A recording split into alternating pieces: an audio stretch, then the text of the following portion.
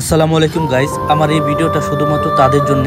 যারা জানেন না কেএল সেন্টারের নিচে একটা বাস স্টেশন আছে, আর সেই বাস স্টেশন থেকে ঘ্যান্তিং হাইল্যান্ড এবং মালয়েশিয়ার ইন্টারন্যাশনাল এবং অভ্যন্তরীণ এয়ারপোর্টগুলোতে যেতে পারবেন। হঠাৎ করে এমন একটা ভিডিও বানানোর কারণ হচ্ছে, আমি যখন এই রাস্তাতে প্রতিনিয়ত কাজে যাই, তখন আমি এক বাঙালি ভাইয়েরা জিজ্ঞাসাবাদ করি, সেই জন্য এই ভিডিওটা বানানো। আর এখান থেকে আপনি এক ঘণ্টা তিরিশ মিনিটে গ্যান্থিং হাইল্যান্ড যেতে পারবেন, এবং কি দশ টাকা টিকিট দিয়ে।